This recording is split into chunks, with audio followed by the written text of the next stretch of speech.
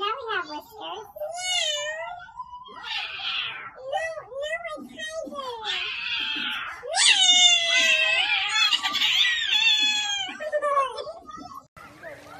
Princess, let me see that pretty face.